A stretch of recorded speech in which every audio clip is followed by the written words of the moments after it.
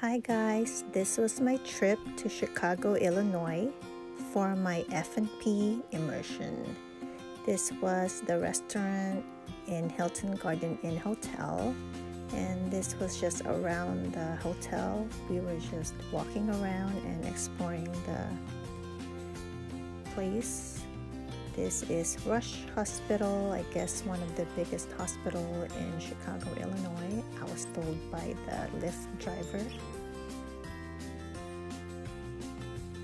And just here exploring the buildings downtown, the hotel room and the gym in Hilton Garden Inn.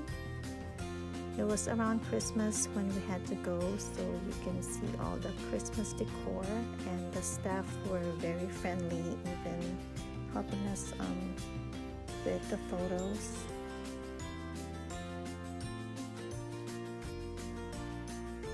And I highly recommend the place. And this is our class, uh, the first day of the immersion. Practice session with my partner so we can pass the test. And this was after the test. We both passed.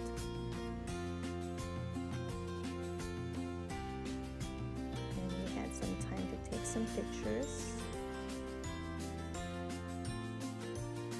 And of course you can see the smile on my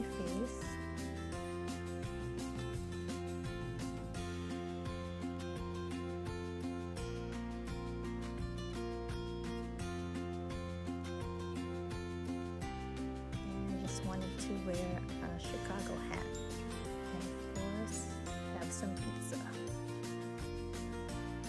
And this is the only trip that we got to do. Um, it was very cold so we didn't get to explore as much as we wanted to. We were able to go to the Willis Tower which is a 110 story skyscraper in Chicago, Illinois one of the main attraction over there. And after that we headed back to LA